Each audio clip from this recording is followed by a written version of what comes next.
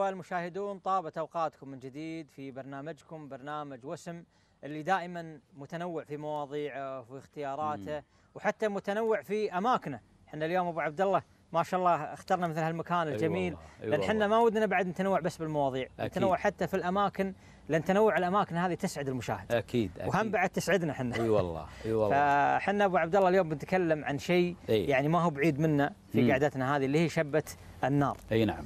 أو شبه الضوء. حلو. ترى إحنا بعد قبل بعض شيبان الأولين ما يحبون كلمة شبه النار. إي. كلمة النار شوي إي يسأمون نعم. منها. فيسمونها الضوء. أها. لأن هي تضيء المكان. أي نعم فإحنا ودنا نسمع منك يا أبو عبد الله آه، الله يرضى حديث عليك. حول شبة النار أو شبة الضوء. الله يسلمك أخوي أبو مطلق. أول شيء أرحب فيك وأرحب بالإخوان المشاهدين الإخوة والأخوات المشاهدين والمشاهدات. آه، أنا مشتاق إني أسمع للموضوع اللي عندك لكن خلني أبدأ ببعض الأفكار المتصلة في موضوع. انت الخير كله يا أبو الله يرضى عليك. أنت الخير كله. أحسنت هذا من طيبك. الله يسلمك. آه، أول شيء أنا أشكرك على إثارة هذا الموضوع. هذا طبعا اختيار أخوي أبو مطلق. موضوع شبة النار لكن أنا بتكلم من منطلق يعني النار هذه تذكرنا بإيش؟ أو يعني ما هي الأفكار التي تتبادر إلى أذهاننا لما إحنا نشوف نعم. آه، النار؟ بالإضافة إلى آه، معنى رئيسي اللي هو موضوع الكرم والضيافة و- وما إلى ذلك. نعم نعم صح. لكن أيضا لها معاني أخرى. يعني النبي صلى الله عليه وسلم وهذا جانب لا بأس بأن إحنا نذكر فيه مجرد تذكير. أذكر في نفسي نعم. وإخواني وأخواتي. النبي صلى الله عليه وسلم قال ناركم هذه التي توقدون جزء من سبعين جزءا من نار جهنم. فالإنسان لما يشوف هذه النار وشدتها وحرارتها ولسعها لما يمسك الإنسان الفنيال أو يمسك ال- الدلة وتحرقه تلسعه سبحان الله. فالإنسان المؤمن لأن إحنا عندنا ست محاور رئيسية هي مرتكزات الإيمان. منها الإيمان باليوم الآخر. والإيمان باليوم الآخر في له قسمين هناك جنة وهناك نار. نعم. كما هو معلوم مما رسخ في ذهن كل إنسان مؤمن، لأجل ذلك الله سبحانه وتعالى يوصي الناس ويقول لهم قوا أنفسكم وأهليكم نارا وقودها الناس والحجارة، والنبي صلى الله عليه وسلم كان من ضمن أدعيته في اليوم والليلة اللهم أجرني من النار كما نعم، قال. النبي صلى الله عليه وسلم في أدعية الصباح وأدعية المساء. هناك معنى آخر من معاني النار. النار هذه قد قد تؤذي تحرق الإنسان، تحرق صبعه، تحرق رجله، تحرق صح ولا لا؟ صحيح. لكن في هناك لسع أشد من نار غير مشاهدة وما فيها لسع آه، حسي. لكن لسعها المعنوي خطير ومدمر لحياة الإنسان وهي جمرة الغضب. آه. واللي أشار لها النبي صلى الله عليه وسلم بقوله ألا إن الغضب جمرة من النار؟ كما أخبر النبي صلى الله عليه وسلم. وكان أمامهم واحد معصب فكان يشير يقول ألا ترى إلى حمرة عينيه وانتفاخ أوداجه؟ شوف جمرة الغضب إيش؟ كيف غيرت هيئة الإنسان وشكله. واتزانه. فاذا لنحذر من جمرة هذه الجمرة اللي هي أشد من هذه الجمرة اللي في امامنا جمرة الغضب. نعم صحيح. وفي هناك نار أخرى وهي نار الحسد. ونار الحسد النبي صلى الله عليه وسلم حدثنا حذرنا من الحسد وقال إن هذا الحسد يحرق الحسنات يأكل الحسنات كما تأكل النار الحطب. الله. علشان كذي أحد الشعراء شنو قال؟ اصبر على كيد الحسود فإن صبرك قاتله فالنار تأكل بعضها إن لم تجد ما تأكله. فاذا هذه أيضا من المعاني اللي لما نشوف النار وقدتها وشدتها نستعيذ. من ال... إي نعم من نعم، الشاعر صح. نستعيذ بالله من هذه النار اللي تحرق صاحبها قبل أن إن إيش؟ تحرق الآخرين. والله سبحانه وتعالى قال كلما أوقدوا نارا للحرب أطفأها الله. فهذه نار الفتنة ونار الحسد ونار البغضاء اللي تشب بين الناس. الله. هناك نار لكنها محببة غير عاد المعاني السلبية اللي أنا ذكرتها. إحنا عاد هذه اللي نبيها إحنا. نعم. وهي نار الشوق والحب. و- ولوعة الفراق ما بين المحبين.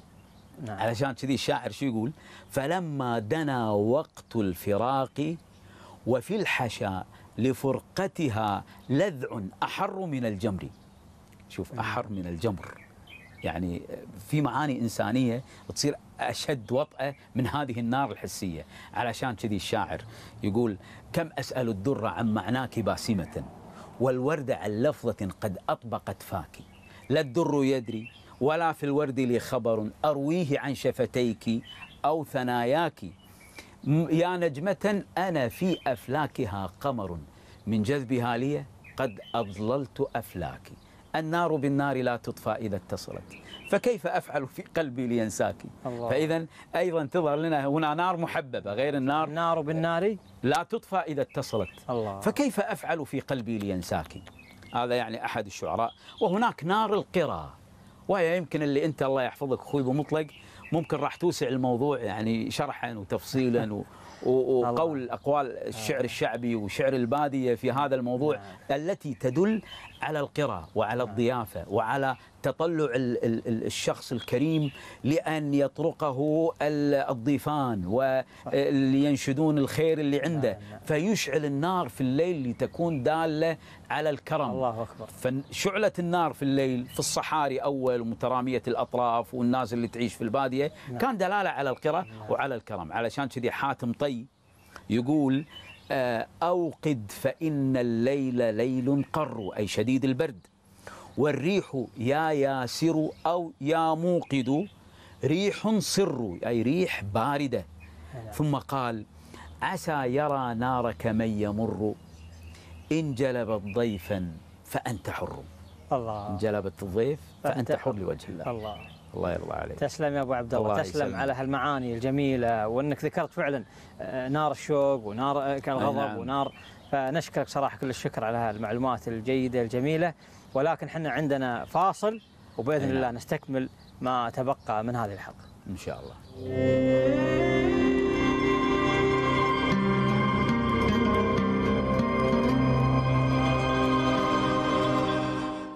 أهلا وسهلا بكم أعزائي المشاهدين. نتابع الحديث معكم بعد هذا الفاصل في برنامجكم وسم.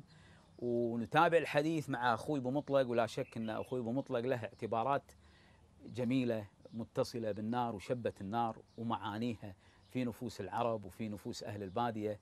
حياك الله أخوي بمطلق. الله يحييك بماذا تود أن تحدثنا في هذا في هذا الموضوع وهذا المعنى؟ أي نعم. إحنا حديثنا صراحة عن شبه النار أو شبه الضوء مثل ما قلت لك بعض الناس. أي نعم. وأظن حتى في اللغة العربية كانوا يقولون يعني الضوء يعني يميلونها أكثر من النار، أي النار نعم. شوي يعني مم. فيها نوع من فسبحان الله يعني حديثنا عن شبه الضوء أو شبه النار نبتدي فيها من خلال ما تفضلت قبل شوي أي نعم أن كانوا الناس من أول يشبونها مم. يوم الناس في قل وفي جوع تجلب الضيف صحيح. تجلب الخطار وتجلب الطراقي مم. في الليل يعني يهتدي لها الضال ويهتدي لها الجايع ويهتدي لها نعم. يعني الضميان وبعض الناس سبحان الله تجي لها يبي الأمان أكيد يعني يدري المكان هذا فيه عرب وناس مقيمين على الأقل يعد الليل بس مم. فسبحان الله يعني شبة النار هذه من العلامات آه، الجميلة في حياة البادية وفي حياة العرب أي نعم صحيح يعني العرب سبحان الله آه، يعني من من الشعوب المضيافة أكيد صحيح واللي تميل للكرم فشبة النار علامة مم. ودلالة على محبتهم للضيف أي نعم. وعلى لأن الناس من أول يقولون النار جذابة الله هذا مثل أي. نعم وفعلا النار جذابة تجذب نعم. الساري وتجذب يعني حتى حشاك آه، إن شاء الله نتكلم بعدين في حلقات ثانية إن كان البخيل يحاول أنه يخفي نار. عشان ما حد يشوفه فيقولون النار جذابة تجذب نعم. الضيف. إحنا طال عمرك بعد بنبين جزئية نسمع دائما يقولون ان شبة النار هي فاكهة الشتاء. صحيح. مثل ما يقولون. صحيح. فما تجد يا أبو عبد الله الآن أي بيت أي مكان أي سبحان الله مزرعة جاخور مخيم مم. ايا كان تلقى إلا الناس شابة نارها. أي نعم. مستانسة. لانها سبحان الله يعني تميل النفس صحيح. لهالأجواء هذه. وسبحان الله أنا يعني أحب أنوع على جزئية بسيطة. مهم. يعني اليوم في ظل الحمد لله الرفاهية وفي ظل الحمد لله يعني الخير اللي إحنا عايشين فيه والرغد أصبحت شبة النار وشبة الضوء من أجل المتعة ومن أجل الاستمتاع ومن أجل يعني التجمعات الحلوة سواء صحيح. مع أخوياك ولا مع أسرتك ولا لكن في الماضي كانت تختلف اختلاف تام مم. يعني النار من أول كانت يعني أو شبة الضوء كانت يعني لها استخدامات متعددة مم. أولها كانت للإنارة. يعني قبل ما فيها لمبات وإضاءة وكهرباء. صحيح. فكانت للاناره وهذا جزء يعني مهم في الحياة. أي نعم. آه، حتى السراج يعني السراج كان بعد فتيل فيه يشبون. فيه. عندك طال عمرك رقم اثنين إنه كانت بعد للطبخ. مم. يعني الإنسان شلون يعيش بدون لا يأكل؟ والله. صح لا؟ فكان صحيح. جزء مهم جدا إن أي كانوا نعم. يستخدمونها في في الطبخ. يعني هذا بقاء الناس من خلال الطبخ فيه. تجد مثلا يعني كانت بعد التدفئة. مم. يعني الأجواء الباردة هذه آه، اللي يكون مثل المربعانيه والأجواء الباردة حيل ما عندك يعني دفايات ولا. عندك غاز ولا عندك. فكانت يعني النار تلعب دور كبير جدا. أوسع مما إحنا اليوم يعني نشوف. كذلك كانت تستخدم لوسم الإبل. الله. من أول يوسمون الابل عن طريق الشوي. إي نعم. صح ولا لا؟ نعم صحيح. كذلك بعد من استخداماتها طال عمرك العلاج بالكي. مم. العلاج بالكي عن طريق بعد النار. صحيح. المخطر جوا المخطر و... فسبحان الله حتى كانت تستخدم بعد في حال النداء. مم. إذا هم القوم يعني أمر كبير يعني يشعلون الضوء بحيث إنها تكون نداء للناس. ما كان قبل فيه تليفونات أي نعم. دز رسائل أو دز أكيد صح. فهذه كلها من استخدامات الأمانة. أي نعم. يعني شبة الضوء. كانوا حتى سبحان الله يعني البدو من أول مم. يعني كونهم يعني عايشين في الصحراء. سبحان الله يعني كان البدوي في ذاك الزمن صديق للبيئة. مم. يعني إحنا اليوم بعد لازم نعالج مشكلة كبيرة أبو عبد الله اللي هي الاحتطاب الجائر. أي والله. لأنه مرتبط في شبة الضوء. أكيد. بعض الناس يروح طال عمرك للبر ويجيب مع السيارات طال عمرك أربع خمس سيارات ويشيل طال عمرك شيء لمدة عشر اعوام قدام. إي نعم. ويدمر البيئة إي نعم صراحة. إي نعم. فكان الناس من أول ياخذون على قدر الاحتياج. صحيح. ما يشيل الدنيا كلها. زائد انه كان عندهم قاعدة مم. في الاحتطاب. البدو من أول يقولون في الحطب يقولون قضمة بعير. مم. لأن البعير دايم سبحان الله ياكل من طرف ياكل من طرف بس. مهم. مو مثل الغنم. الغنم لا. تاخذ من الجذور. أها. فيقوم قضمة بعير يعني ياخذ الأطراف. الله. واخذ الشيء الميت لا تاخذ الشيء الخضر حرام تاخذ الشيء الخضر. صحيح صح ولا لا؟ صحيح. فهذه كلها سبحان الله يعني آه، من آه، حديثنا عن النار والضوء. حتى كانوا يعني يحبون مثل عندك يعني آه، العرفج والرمح أها. وال- والعجرام. وهذه كلها يعني والغضاء. كلها يعني. ودائما حتى في أبياتهم يعني. إحنا نسمع مثلا ابن عبيشه من الرمال مشمر مبارك مم. بن عبيشه كان يقول من عرض قصيدة طويلة هي كانت تؤنسهم مم. كانت تضفي عليهم البهجة حتى إذا حس إنه يعني متألم أو متضايق يأوي إلى النار الله يحس إنها تعالج همومه. سبحان الله. فمبارك بن عبيشه هذا يقول من عرض قصيدة طويلة يقول لا ضاق صدري مم. جبت وقدة جثامير مم. جثامير هي الحطب الجروم الكبيرة مهم. لا ضاق صدري جبت وقدة جثامير وشبيت نارا مثل نار الحرابة الله تجد إن أحد الشعراء بعد سحيا العواي من البرزام المطير بعد شاعر معروف كان يقول يا زين شب النار برض بياحي. والزول يا زميلي على مد شوفي. الله الله الله. وتجد إن أحد الشعراء بعد يقول لا ضاق صدري قلت شبوا لي النار.